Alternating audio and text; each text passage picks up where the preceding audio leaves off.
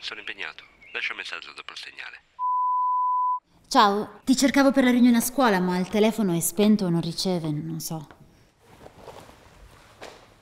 Paolo è a nuoto. E allora, visto che ci sono solo io qui, parlo da sola, come sempre. E mm, ti dico una cosa. Grazie. Grazie per tutto quello che hai fatto, prima e dopo la separazione. Quando il mondo ci crollava addosso e tu ci facevi da scudo. Ma con quali forze poi? Io non lo so, non riesco nemmeno a capirlo. Io ricordo solo le paure, il senso di vuoto, la solitudine che aumenta in mezzo alla gente. E tu? Non hai mai fatto mancare il sorriso a nostro figlio. Lo hai rassicurato senza mai usare una parola contro di me. Gli hai spiegato che a cambiare sarebbero state le abitudini, non i legami.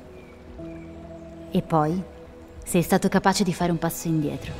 Hai accettato che un altro uomo entrasse nella sua vita, nella sua educazione. Non hai criticato, giudicato. Io forse non ne sarei stata capace.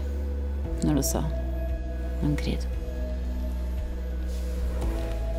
Fra poco tornerà e come al solito verrà qui a saltare sul divano e mi racconterà qualcosa di bello e di meno bello della sua giornata. E mi parlerà di te, il suo papà migliore al mondo. Ah, eccolo. Ciao, eccoti! Ciao, ben arrivato! Allora, com'è andata?